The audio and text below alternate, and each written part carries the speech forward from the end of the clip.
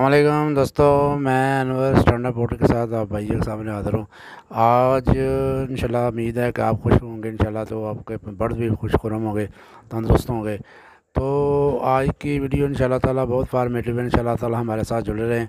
आपको अच्छी अच्छी सील फ़ार्मिंग मतलब टिप्स और सील फ़ार्मिंग मतलब एक्सपेरिमेंट और आइडिया और उस्ताद का तजर्बात करने छोड़ इंशाल्लाह भाइयों के साथ शेयर करते रहेंगे।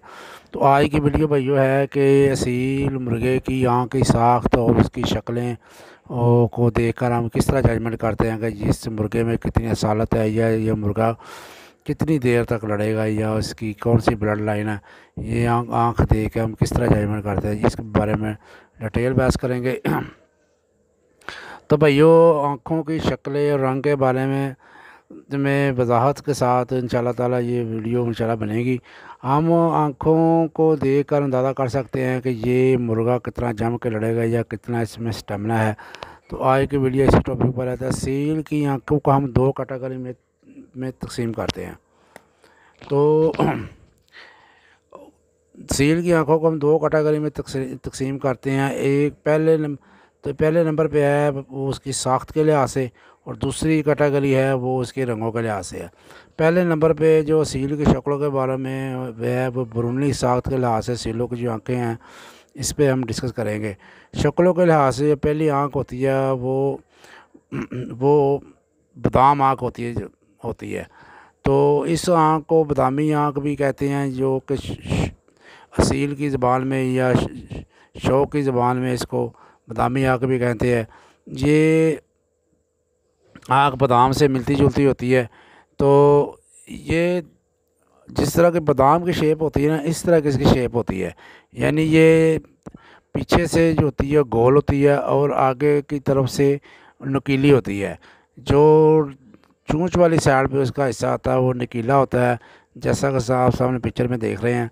तो ये आँख जो होती है, अच्छी आँख होती है तो इसके जानवर जो होते हैं आम तौर पर वजनी जानवर होते हैं।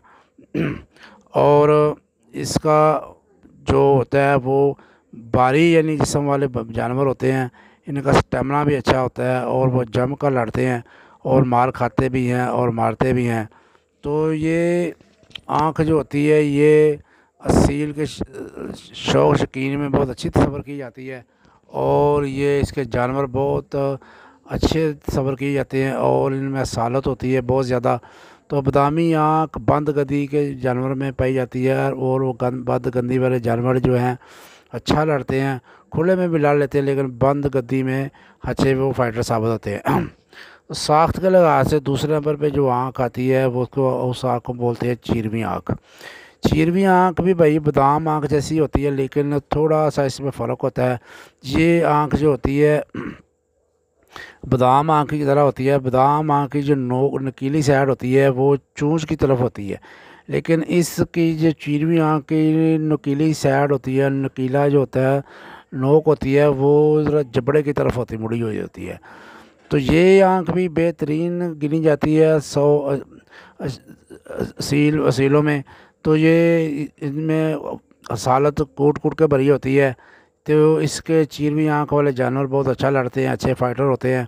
उनमें अच्छा स्टेमिना होता है। तो तीसरे नंबर पे जो आँख आती है, वो आँख भाई होती है दंसी हुई आँख।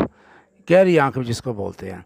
और पंजाबी ज़बान में उसको डूँगी आँख भी कहते हैं, या सील की ज़बान में, या शौक की ज़बान में इसको डूँगी आँख भी कहते हैं। ये आँख अंदर की जानब दंसी हुई होती है, इसके दोनों जानवर जो पोटो, ऊपर वाले पोटे और नीचे वाले पोटे का गोश्त होता है, वो ऊपर चढ़ा हुआ होता है, वो आँख अंदर होती है। तो ये आँख एक महफूज आँख होती है, प्रोटेक्टिव आँख होती है तो ये लड़ाई को दौरान एक महफूज आँख से समझी जाती है, क्योंकि ये लड़ाई के दौरान दूसरा जो जानवर, मुखालफ जानवर होता है, वो जब वो पंजे मारता है या वो कील मारता है तो वो बाहर वाले जो पर्दे होते हैं, जो पोटे होते हैं, वो ज़ख्मी होते हैं। अंदर से आँख जो है महफूज होती रहती है। लेकिन यहाँ पर एक बात मद्देनज़र रखनी है आपने, एक बात को जहन में रखना है कि ये अंदर को दलसी हुई है, वहाँ का इतनी अंदर को ना दलसी हो कि वो सामने वाले जो मध्य मुकाबले जानवर है, उसको ठीक तरह फोकस ही ना कर सके या देख ही ना सके, इस चीज़ को आपने मद्देनज़र रखना है। तो ये वसालत में इस डूँगी आँख की बड़ी अहमियत है, शिकारी जो रात है, वो इस आँख वाले जानवर को ढूंढ कर अपने ब्लड लाइन में शामिल करते हैं। और यह साख्त के अतबार से एक म्यारी आँख समझी जाती है, और ये बहुत नयाब आँख है। और बहुत से जानवरों में, बहुत बहुत कम जानवरों में ये पाई जाती है। तो इसके बाद भाई आते हैं मिस्री आँख। मिस्र, मसूरी आँख जो होती है, ये बहुत कम जानवरों में पाई जाती है।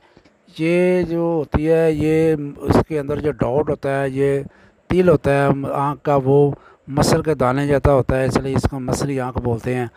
तो ये इसके जानवर बहुत नायाब होते हैं। तो ये बिल्कुल ब्रीक सा डॉट होता है और निशान होता है और जो डॉट का साथ जो होता है वो मसूर के दाने के जैसे होता है, इसलिए इसको मसूरी या, मसूरी आँख भी कहते हैं। ये एक नायाब आँख है और इसको सील, शौकीन जो हैं बहुत अच्छा तस्वर करते हैं और इसको पसंद करते हैं। अब पाँचवें नंबर पे जो आती है, ये थी पहली चार जो किस्में थी आँखों की। ये बेहतरीन आँखें हैं। ये शौक शिकार में बहुत अच्छी समझी जाती हैं। इसके जानवर बहुत अच्छा लड़ते हैं जम के लड़ते हैं, इनमें स्टेमिना अच्छा होता है। ये बेहतरीन होते हैं। ये पाँच आँखें, जो चार आँखें आपको बताई हैं, ये बेहतरीन सफ़र की जाती हैं। अब आते हैं पाँचवें नंबर पे आँख, वो आँख होती है गोल आँख। ये गोल आँख, उभरी हुई आँख भी इसको बोलते हैं। ये आँख इतनी अच्छी नहीं होती और इतने अच्छे ब्लड लाने की नहीं होती।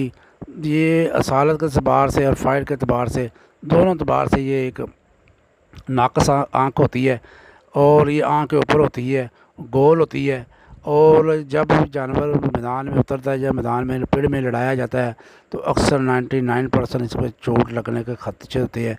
ये एक अनप्रोटेक्टेड आँख होती है, एक ये आँख सेफ़ आँख नहीं होती। तो इसके जानवर जो होते हैं अक्सर काने हो जाते हैं। तो ये अक्सर जो शिकारी हैं वो कहते हैं कि ये प्योर सील भी नहीं होते। इनके पीछे इनके जो हिस्ट्री होती है इनके दादा दादी या नाना नानी वो किसी में इसमें क्रास होता है जिसकी वजह से ये शक्लें ये गोल आँख आती है। बारह ये पाँच शक्लें थी साख्त के लिहाज से। तो जो भाइयों को तो मैंने आपके साथ शेयर कर दी हैं। अब आते हैं रंगों की तरफ़। तो रंगों के अतबार से भी सील की कई किस्म की आँखें हैं तो कई कैटागरी की आँखें हैं। इनमें किस किस कैटागरी की आँखें हैं, वो इंशाल्लाह इसमें डिटेल से बात, के साथ बात करेंगे। इस कैटागरी में पहले नंबर पे जो आँख आती है, वो साफ़ आँख होती है। साफ़ आँख क्या है? साफ़ आँख में एक काला डाट होता है, बाकी सारी आँख सफ़ेद होती हैं या हल्की पीली या बोसकी होती है। तो ये बहुत अच्छी आँख समझी जाती है। ये बंद कदी के जानवरों में पाई जाती है। इनका स्टेमिना बहुत ज़्यादा होता है, ये लंबा लड़ते हैं और इनकी आँखें चमकदार होती हैं, ये बिल्कुल शफाफ आँख होती हैं। और कोई रंग और कोई डोरा इसमें नहीं होता, ये बिल्कुल साफ़ आँख होती है। तो ये लंबा लड़ने वाले होते हैं, स्लो लड़ते हैं, तेज़ी नहीं होती पर लड़, स्लो लड़ते हैं। ये रंग के अतबार से अब दूसरी आँख होती है जो पीली आँख है। ज़र्द ये पीली होती है, ज़र्द नहीं होती तो ये सरसों के फूल की तरह होती है, बल्कि इससे भी उससे इसका रंग जो होता है थोड़ा मदम होता है। ये आँख, अच्छी आँख गिनी जाती है। ये एक अग्रेसिव अग्रेसिव आँख होती है, गुस्से वाली आँख होती है। ये पीली आँख के जानवर बहुत होशियार और चलाक होते हैं, बहुत एक्टिव होते हैं, और चलाकी और एक्टिविटीज़ की वजह से वो दूसरे जानवर को, मध्य मुकाबले जानवरों को बिछाड़ देते हैं, उनको दाग, दो पेज लगा कर उसको साथ उसके फाइट करते हैं और बहुत परथीले होते हैं ये जानवर। लिहाजा ये आँख भी, आँख, रंगों के अतबार से बेहतरीन आँख समझी जाती है। रंग के अतबार से तीसरे नंबर पे आँख है, वो है, भाइयों मेरे है मकोही आँख। मकोही आँख बिल्कुल साइज़ में छोटी होती है और फुल काली होती है। जिस तरह काला डाट होता है, इसी तरह की पूरी आँख होती है। हल्का फुल्का सा थोड़ा सा डाट में महसूस होगा, वरना सारी आँख आपको काली महसूस होगी। तो ये मकोही आँख, अच्छी आँख तस्वर की जाती है। शौकीन लोग इसको बड़ा पसंद करते हैं। तो चौथे नंबर पे जो रंग आता है, वो नीले रंग वाली आँख है। ये रंग भी एक नियाब किस्म है। ये प्योर ब्लड लाइन की निशानी है। पीले रंग वाली आँख होती है ये। इसका जो काला डाट होता है, इसके गिरद एक नीला सा शेड आ रहा होता है। इस नीले या नीला शेड होता है या आसमानी रंग का शेड होता है तो ये आँख एक असालत की एक निशानी है। नीली आँख वाला जो जानवर होता है, वो अच्छा तस्वर किया जाता है। असालत के अतबार से और फाइट के अतबार से भी ये अच्छा जानवर गिना जाता है। तो शौकीन लोग हैं, वो इसको बहुत पसंद करते हैं। नीले रंग वाली आँख अमूमन लसानियों में पाई जाती है और ये लसानियों की पहचान है। बहरहाल ये भी अच्छी आँख है। पाँचवें नंबर पे आती है, सबसे ज़्यादा और पसंद की जाने वाली आँख है, वो है भाई चार रिंगों वाली आँख। चार रिंगों वाली आँख, यानी इसके अंदर चार रिंग होते हैं, चार तरह के दायरे होते हैं। ये आँख बड़े पुराने सीलों की पहचान है, बड़ा लंबा लड़ने वाले ये जानवर होते हैं। बड़े तेज़ होते हैं असालत इनमें बहुत ज़्यादा होती है और दूसरे जानवरों को फ़ौर हिट का जवाब देते हैं। ये ऐसे जानवर होते हैं जो मैदान में मर तो सकते हैं लेकिन भाग नहीं सकते। अगर मैदान में दूसरा जानवर मध्य मुकाबला जो जानवर है, वो बहुत ज़्यादा ताकतवर उसके मुकाबले में तो इसके डील पाने की वजह से वो जानवर थक जाता है और थकने की वजह से वो हार जाता है, लेकिन ये थकता नहीं, मैदान छोड़कर नहीं भागता। मैदान को में मरना पसंद करता है। तो चार रिंग वाली आँख जो है तरतीब इस तरह है कि पहले ब्राक डाट होता है, इसके बाद नीला एक होता है रिंग, चक्कर होता है। इसके बाद मेन आँख का रंग होता है, वो सफ़ेद या पीला हुआ एंड पे डोरे आते हैं भैया जो रेड रंग कलर के होते हैं। तो डोरों का मतलब भाइयों ये है कि डोरे, ये वाजे होने चाहिए, एक दूसरे के साथ मिले हुए नहीं होने चाहिए, और ये जो काला डाट है उसके, उसको क्रॉस नहीं होने चाहिए, पीछे भी ख़त्म हो जानी चाहिए, और वादे नज़र आने चाहिए, या एक दूसरे के साथ गिड मिड नहीं होनी चाहिए। तो ये थी भाई, चार रिंग वाली आँख। तो इसमें अलग अलग आना चाहिए, कोई डॉट वगैरह नहीं आना चाहिए तो ये एक बेहतरीन आँख समझी जाती है और सालत के लिहाज से बहुत अच्छी आँख है। और इसके अलावा एक आँख होती है थम्ब वाली आँख। ये आँख में अंदर डाउट होते हैं, कुछ निशान होते हैं, ये सामने शक्ल में आपको नज़र आ रहे हैं।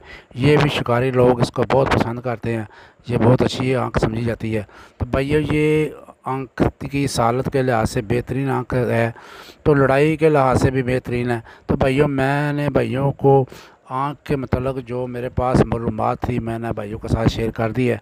उम्मीद है कि आप भाइयों को कुछ ना कुछ इंशाल्लाह इलम हासिल होगा। तो अगर आप वीडियो पसंद हुई है तो मेरे ये सामने जो सब्सक्राइब का बटन नज़र आ रहा है, इसको दबा के काला कर दें और वीडियो को लाइक कर दें। अगर आप सीलों की पहचान के मतलब वीडियो देखना चाहते हैं तो ये सामने आपको जो नज़र आ रहा है, ये सीलों की पहचान को वीडियो वॉच करें चला आप भैया को अच्छी मालूम मिलेगी। तो पाकिस्तान जिंदाबाद असील चौक जिंदाबाद अल्लाह हाफिज़।